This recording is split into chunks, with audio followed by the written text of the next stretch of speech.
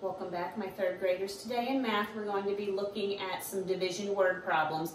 And in these problems, we're going to see how we can use the first problem to help us solve our second problem. So the first problem we're going to look at today is it says there are 20 first grade students in Mrs. A's class. If she puts them in groups of four, how many groups will there be? We know that there's 20. She wants to put them in groups of four. So I'm going to put 4 in my first group. I need to get to 20. That's not enough. I'm going to add another group. 4 plus 4 is 8. Still not enough. 4 plus 4 plus 4 is 12. Still not enough. 4 plus 4 plus 4 plus 4 is 16. Still not enough but I know I'm getting closer.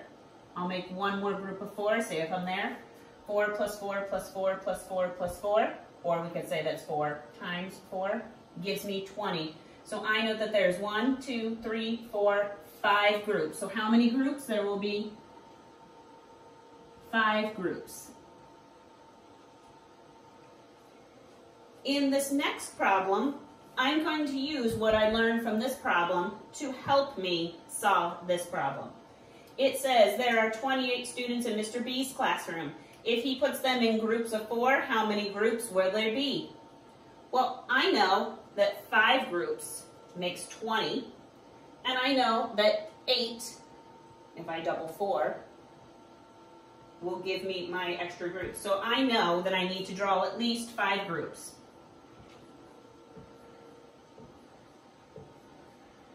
All with four in them. So far, we've done four times five equals 20. I need to get to 28, so I know I need to add at least one more group, which gives me 24.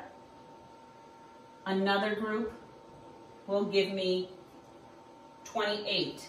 So I could say this is like doing 4 times 5 equals 20. 4 times 2 more groups gives me 8.